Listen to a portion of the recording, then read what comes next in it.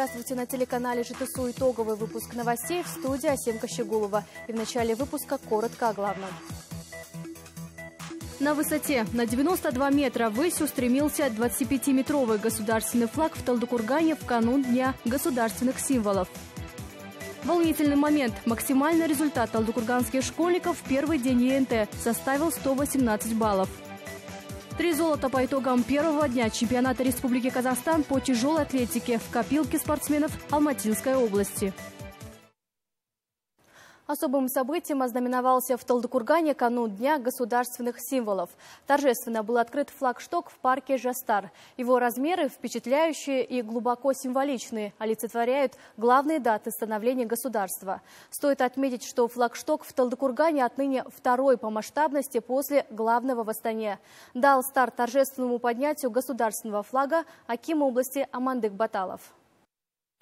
Без преувеличения историческим стал нынешний день госсимволов для Алматинской области. Стать участниками грандиозного события собрались сотни горожан. Не просто отдать дань уважения атрибутам государственности, а своими глазами увидеть, как на Житосуйской земле зарождается новый символ. Высокопатриотичный и уникальный в своем роде. Отныне в областном центре есть флагшток, второй в стране по размерам полотна и высоте стеллы. Сегодня флаг нашего государство для всех нас и для всего мира является символом процветающего государства, единства, сплоченности его народа. Президент страны, лидер нации Нурсултан Абиш Назарбаев отмечает, государственные символы – это один из незыблемых основ нашего суверенитета. Они выражают священный, объединяющий образ независимости. Так пусть гордо реет наш флаг в безоблачном небе – и пусть всегда процветает наша Родина, Республика Казахстан. Новый флагшток в парке Жастар поражает масштабностью. Его высота 92 метра по числу года, когда голубой стяг с золотым солнцем стал главным символом независимого Казахстана. В честь главной даты страны и длина флага в 25 метров. Словом, в самой конструкции отражение глубокого патриотического смысла. Большое будущее великой страны сквозь славное прошлое на заре становления казахстанской государственности.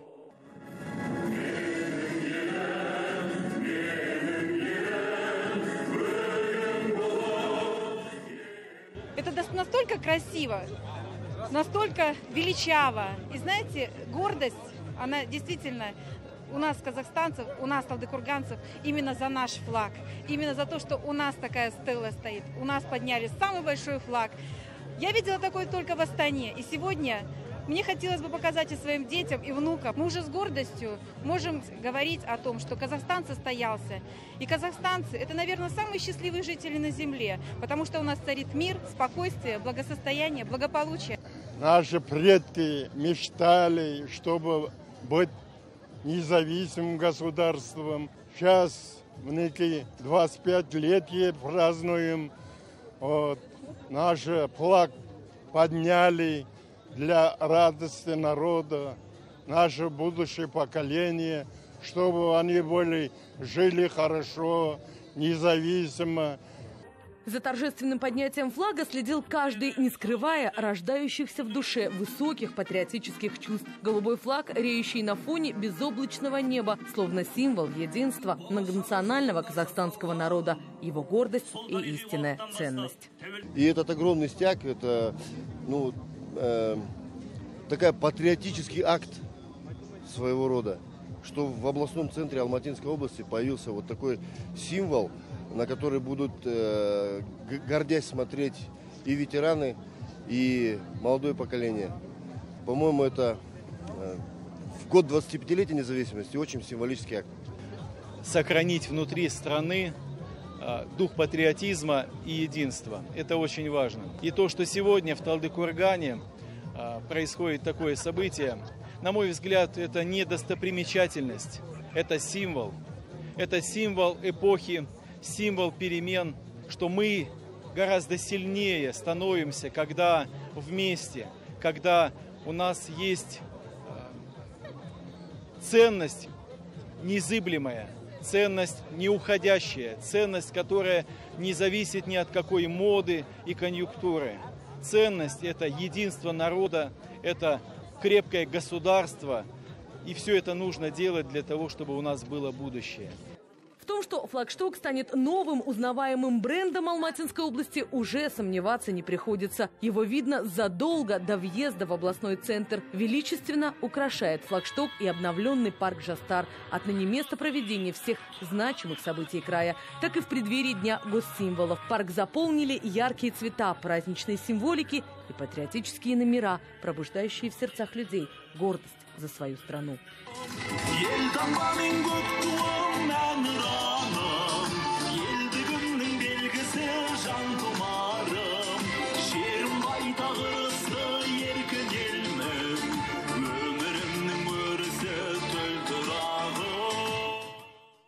Восхищаюсь, восхищаюсь. Керемет күшті. чувство гордости э, за нашу страну, за наш город, за наш народ.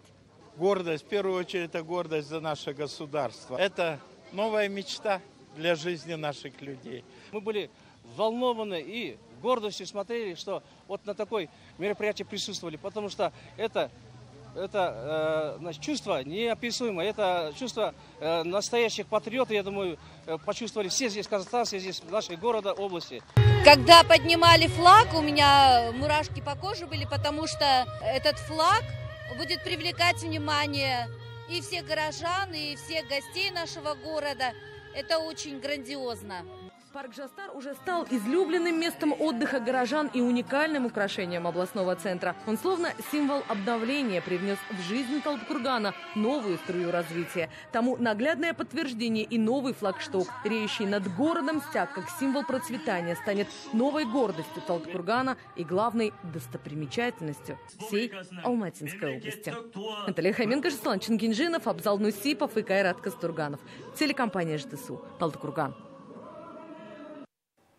ЕНТ стартовала сегодня в Талдыкургане. В одном из самых крупных пунктов сдачи единого национального тестирования в Житусуском государственном университете экзамен сдали выпускники восьми школ Талдыкургана и Искельдинского района.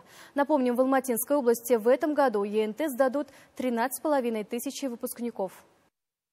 Волнительное пятничное утро у стен ЖГУ объединило 461 выпускника. Одни еще зевают с просонья, другие слушают наставления учителей, ну а третьи уверенно шагают на главный экзамен жизни. Убрать все лишнее – это шпаргалки и мобильные телефоны и оставить лишь удостоверение и пропуск. Главное требование строгой комиссии. Полагаться сегодня ребятам придется только на свои знания. Волнение и тревогу испытывают все без исключения. И тем не менее, ребята уверены, что обязательно сдадут предстоящий экзамен.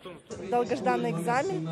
Я думаю, что мы сегодня все справимся. Я рассчитываю на 90 баллов. Готовились, конечно, усиленно. А весь год, ну и с 10 класса нас начинали готовить.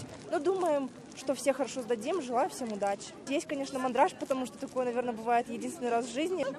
Ну, я на ИНТ выбрала биологию, потому что планировала идти в медицинский. Сейчас не знаю, смотря сколько баллов наберу. А, на пробных экзаменах я набираю 90-100 баллов. Ну, сегодня надеюсь, что не буду волноваться и перейду порог, я постараюсь сегодня. Рассчитываю на себя очень хорошо. Ну, баллов 80 точно мои. Я в себе уверена, я не переживаю вообще и советую никому не переживать, потому что, ну, сдадим, все сдадим. Всем удачи желаю. Ровно в 9 часов утра стартовал государственный экзамен. Однако до его начала в присутствии самих выпускников и членов комиссии в каждой аудитории распечатали тестовые бланки. Все вопросы относятся к категории государственных секретов. Ровно три часа времени отвели ребятам для сдачи экзамена. Ответить необходимо на 125 вопросов по пяти предметам. За процессом следили представители министерства. Присутствует 11 человек представителей Министерства образования Республики Казахстан и члены Государственной комиссии. По университету три потока у нас будет, третьего, пятого и седьмого. В численности где-то полтора тысяч абитуриентов должны за три дня пройти э, НТ. В Алматинской области работают 15 пунктов сдачи ЕНТ. До 7 июня тестирование в них пройдут свыше 9 тысяч выпускников региона. 13,5 тысяч заканчивает, 9 300 идут на АНТ, из них 364 у нас претендента на Алтенбельга. Второй день, э, апелляционный день. Любой, э, любой ребенок может на следующий день подать на апелляцию. Ну, если ребенок не набрал порог, то он имеет право во второй раз сдать, э, получить пороговую оценку, но он не имеет права участвовать в государственном гранте. Правильные ответы вывесили к 5 часам вечера. Впрочем, узнать результаты ЕНТ выпускники могли и по интернету с помощью ИИН. Тем временем промежуточные итоги подвели и члены экзаменационной комиссии. Наивысший балл – 125 правильных ответов никто таки не смог набрать. Максимальный результат – 118. Однако 18 ребят не смогли пройти даже пороговый уровень. 75,9 баллов, средний балл составляет. Удалений не было, нештатных ситуаций не было. Для ребят были созданы хорошие условия. Я думаю, что все были сегодня довольны. Алтенбельге. Сейчас мы реально знаем, что несколько человек подтвердили. 5 числа будет второй день, вернее, экзаменов, потом 7 и итоги уже будут подведены позже с учетом апелляции это восьмого, наверное, будут результаты. К слову, в республике в этом году в традиционном формате ЕНТ проводится в последний раз. Со следующего года сдавать тесты будут лишь те выпускники, которые собираются поступать в вузы. Лаура Байбачанова, Тимур Байбусынов, телеканал ШТСУ, Талдыкурган. В Алматинской области к своей работе приступила информационная группа по разъяснению норм нового земельного законодательства. В нее вошли руководители областного управления земельных отношений, Национальной палаты предпринимателей и специалисты других госучреждений. Рабочая группа уже успела провести десятки встреч с населением. Сегодня ее представители встретились с главами крестьянских хозяйств Кербулакского района. Диалог получился конструктивным. Фермеры получили ответы на все волнующие вопросы. Предложения взяты на заметку. Все нюансы нового земельного кодекса будут доведены до каждого сельчанина. Подобные встречи теперь пройдут и в других регионах области. Желающие также могут адресовать свои спорные вопросы представителям нацкомпании, созданной в рамках земельной Э, реформ, обратившись в колл-центр. К слову, с прошлого года в Кербулакском районе государству было возвращено более 18 тысяч гектаров неиспользуемых сельскохозяйственных земель. В рамках конкурса сельхозугодия вновь были впущены оборот. Ревизия земельных участков в регионе продолжается.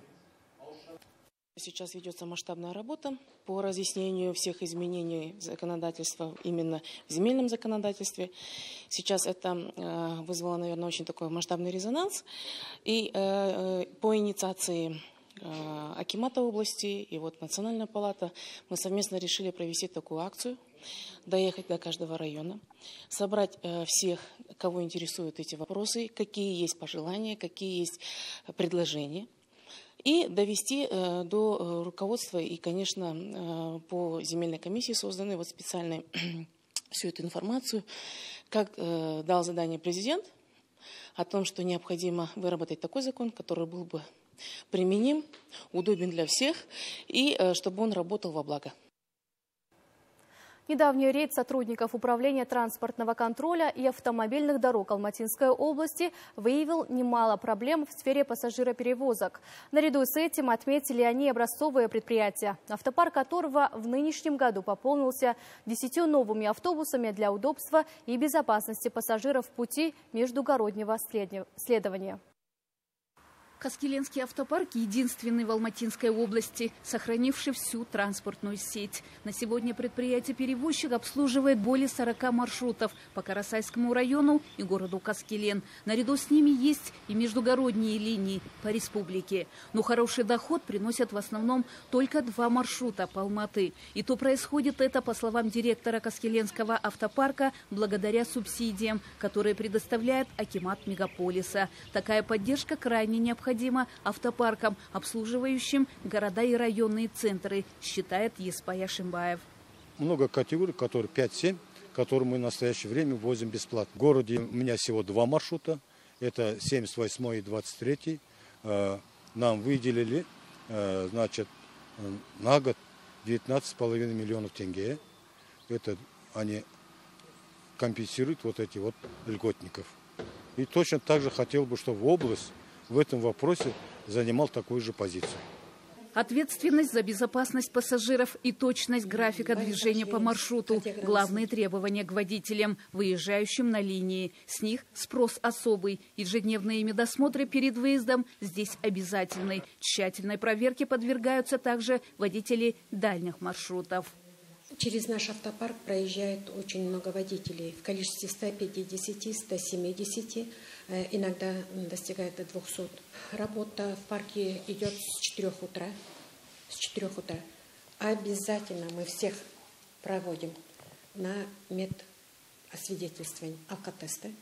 После алкотеста мы обязательно их проводим на э, обследуем давление. И если э, какое-то будет э, отклонение, у нас есть журналы.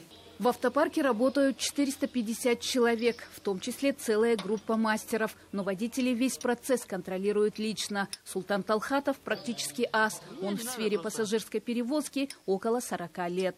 Вчера вечером на ремонт заявку подали мы. И вот сегодня я ремонтирую. Ну, завтра я выйду, Аллах даст, конечно, все нормально. Долго на ремонте мы здесь не задерживаемся. У нас здесь э, слесаря, запчасти, все нам дают. Ну, я работаю на 318 маршруте, Алмата-1.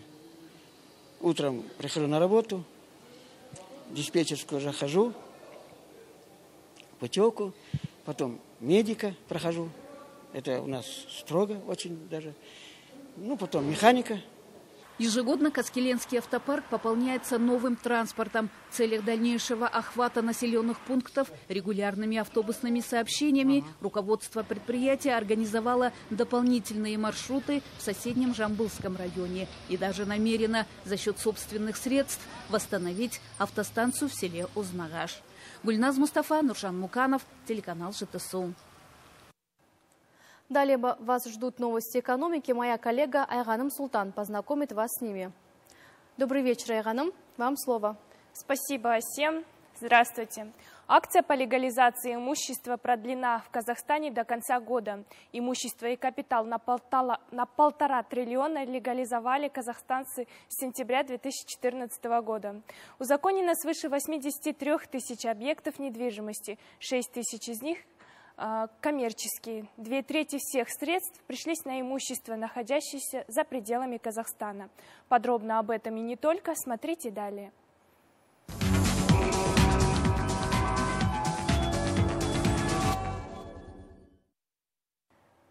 Как отметил министр финансов Республики Казахстан Бахет Султанов, активнее выводить из тени имущества казахстанцы стали после внесения поправок в закон об амнистии капитала. Согласно его нормам, граждане освобождаются от административной и уголовной ответственности, а легализованное имущество и деньги не подлежат конфискации. Значительно упрощена сама процедура. Деньги, переведенные на счет в банке, освобождаются от уплаты 10% сборов и могут быть использованы на любые нужды. Такую же тенденцию отмечают в Нацбанке. За прошедшие полгода казахстанцы открыли дополнительно более тысячи счетов. Это в пять раз больше, чем до внесения изменений закон об амнистии. Лидерами по количеству внесенных денег являются Алматы, Астана, Атрауская, Карагандинская, Южно-Казахстанская области. В Жамбылской области приступили к созданию химического кластера. Его образуют три крупные компании. Отечественный Казфосфат, химический парк с участием инвесторов из разных стран и российский Еврохим. Все они будут выпускать минеральные удобрения не только для казахстанских, но и для зарубежных фермеров. Проекты реализуются в рамках карты индустриализации. Крупнейший из них химический комплекс в малых городах Каратау и Жанатаси реализует российская компания. Его строительство должно быть начато уже в сентябре этого года. Подготовительный этап уже завершен. Кроме того, компания выполнила большую часть специальных обязательств перед жителями моногородов. Построила дороги, привела в порядок жилой фонд и водопровод. Планируется, что развитие производства инвестор вложит около 1 миллиарда долларов. Будет создано более 2000 постоянных рабочих мест. Производство подсолнечного масла за январь-апрель 2016 года составило 80 тысяч тонн, из них 66% было произведено предприятиями Восточно-Казахстанской области. По пассивным площадям подсолнечника среди регионов Казахстана лидируют Восточно-Казахстанская и Павлодарская области совокупной долей в 65,2%. Сильное уменьшение площадей с 2010 по 2015 годы наблюдалось в Акмолинской области на 46%, в Павлодарской области на 42%. В нынешнем году в Северо-Казахстанской области планируется реализация двух прорывных проектов по переработке масличных культур стоимостью 23 миллиарда тенге. В Петропавловске планируется строительство завода по производству растительного масла. Данные производственные мощности казахстанских предприятий позволяют экспортировать продукцию в соседние страны Китая и Россию. Это основные события из новостей экономики на сегодня. А я вновь передаю слово своей коллеге. Продолжайте, Асем. Спасибо, Айганом. А мы продолжаем выпуск событиями в мире.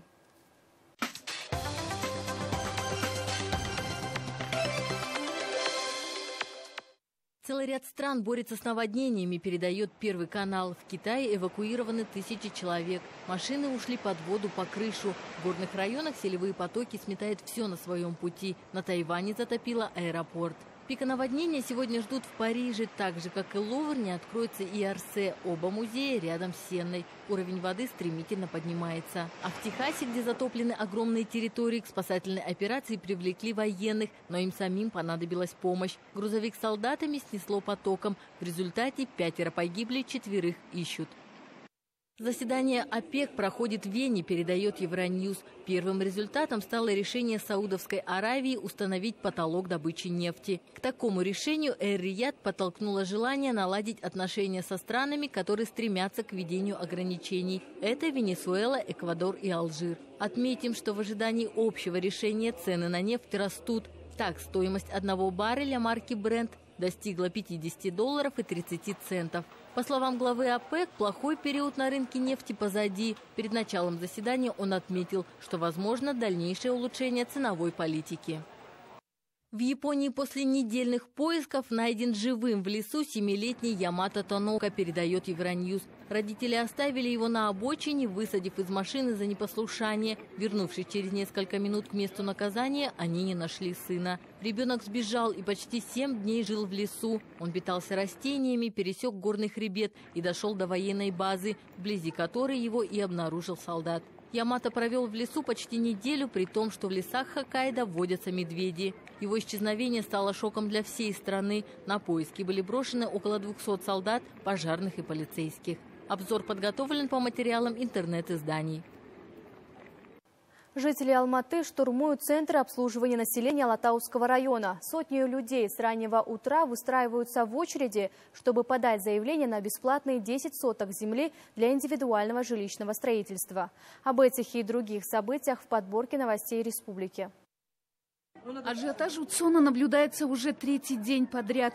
За этот период поступило свыше четырех с половиной тысячи заявлений на выделение 10 соток. Как сообщила Аким Алатауского района, в настоящее время в Алматы свободных территорий для выдачи земель нет. По официальным данным государственных органов Республики Казахстан, в настоящее время в Алматы в очереди за бесплатными участками земли стоят свыше 112 тысяч человек. В Министерстве образования подвели итоги первого дня единого национального тестирования. ИНТ проводилась в 44 пунктах. Приняло участие в тестировании 17 934 выпускника. Четыре из них удалены за неоднократные нарушения. Их результаты аннулированы. Было изъято более 8,5 тысяч запрещенных предметов. Не преодолели пороговый уровень в 50 баллов 2277 выпускника, а это около 13%. Штатов. В Алматы дворники провели урок чистоты для журналистов и депутатов городского маслихата. Постричь кустарник, покрасить скамейки детские качели, собрать мусор. Это работа дворника. Но у творческого человека круг обязанностей намного шире. Вырезать из шин фигурки или украсить двор рисунками. В общественном фонде «Чисто по-алматински» говорят, что организовали конкурс для того, чтобы мотивировать самих дворников, а горожан научить уважать их труд. Поработав кистями и депутаты и журналисты убедились, насколько трудна работа дворника и пообещали всем напоминать, что чисто не там, где убирают, а там, где не ссорят. Новости республики подготовлены по материалам интернет-ресурсов. Чуть меньше месяца осталось до начала национального конкурса «Мериля от пасы» в Алматинской области. В этом году он проводится четвертый раз. Принять участие в проекте может каждый желающий. Главное, чтобы в семье были определенные достижения. В ежегодном состязании выразила желание поучаствовать и семья врачей Кужахметовых из Панфиловского района. Подробнее в следующем сюжете. Нурдаулет Кужахметов возвращает людям зрение. Врач-офтальмолог с 40-летним стажем в прошлом году вышел на заслуженный отпуск. Но, несмотря на это, он продолжает заниматься любимым делом и дарить людям свет. Окулист в 1977 году окончил медицинский институт в Семее. Там познакомился со своей супругой. К слову, Исауле Жайербаева 30 лет проработала в медицине. Вместе воспитали троих детей. И сегодня в кругу своих внуков рассказывают историю семьи. Помню, в детстве я сильно заболел и попал в больницу. И уже тогда подумал, насколько сложная и благодарная профессия врача. И тогда я дал себе слово. Когда вырасту, стану как они. В 71 году я окончил школу в Жаркенте и поступил в медицинский. Мечта исполнилась. Мы с супругой рассказываем своим внукам разные истории, которые произошли на работе. Им очень интересно, и нас это радует. Думаем, наши внуки возьмут с нас пример. Пошел по стопам родителей старший сын Ержан Кужахметов. Он также окончил медицинский университет в Семее. Приехал в родной город и продолжил деятельность семьи, помогая людям. Сегодня молодой специалист работает хирургом в медицинском центре ДАУА. Главное при выборе профессии – помощь и советы старших, а также сильное желание, делится он. Очень большая ответственность, э, так как мы еще работаем хирургами, я думаю, ответственность здесь очень большая. И к работе надо подходить с профессионализмом, постоянно работать над собой, самосовершенствоваться. Родители, э, мои врачи, я сам врач, и хотелось бы, чтобы сын тоже был врачом. В принципе, проявляет желание, хочет тоже стать хирургом. Общий стаж семьи в медицине 85 лет. Они по праву являются примером для многих. Спасая жизнь людям, Кужахметовы не забывают и о семейном очаге. Каждое мероприятие дружно и весело встречают за одним Дастарханом. К слову, через две недели они отпразднуют свой профессиональный праздник и по традиции в кругу семьи. Кроме того, намерена семейная династия принять участие в конкурсе «Мирили от Пасе», который пройдет в середине лета. Асемка Щугулова, Айдос Калеев, телеканал ЖТСУ из Панфиловского района.